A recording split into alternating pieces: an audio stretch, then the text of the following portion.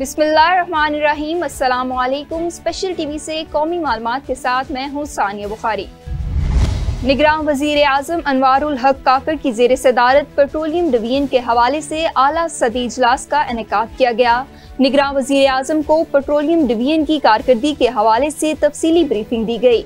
निगरान वज़ीर आज़म का कहना था कि पाकिस्तान के बेपनाह कुदरती वसाइल की सलाहियत को भरपूर तरीके से इस्तेमाल करने के लिए मजीद इकदाम उठाने की ज़रूरत है। कुदरती वसायल तक रसाई के लिए रोड इंफ्रास्ट्रक्चर बेहतर बनाने की ज़रूरत है। पेट्रोलियम डिवीज़न मुल्क में तेल और गैस की पैदावार बढ़ाने के लिए प्रोग्राम पर काम कर रही है। पेट्रोलियम डिवीज़न मुल्क में मजीद कुदरती वसायल की तलाश के लिए कोशा है।